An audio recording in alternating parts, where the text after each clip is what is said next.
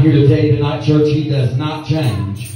He is the same. You know, it might seem like to you that He changes, but I'm telling you tonight, God don't ever change. He is the same. He's the same God that was from the beginning. He is the same God here today, and He is going to be the same God in the end. I'm here to tell you that the Bible plainly lets us know that in the beginning was the Word, and the Word was with God, and the Word was God. I feel the Holy Ghost tonight. I'm telling you right now. I, just I feel good in this place tonight.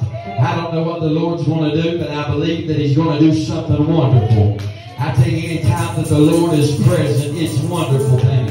Any time that He comes in and He blesses us and He graces us with His presence, Mary Lou, we are blessed. I'm here to tell you right now, whether we believe it, whether we feel it, whether we see it, we are one blessed people. We are a blessed people, darling. I tell you, the devil don't like it, but we're blessed anyhow. He don't like it, but we're still blessed. And I'm glad to know tonight that I am one of those blessed people. I'm one of them tonight. I'm glad that I'm one of them. I tell you tonight, God is good.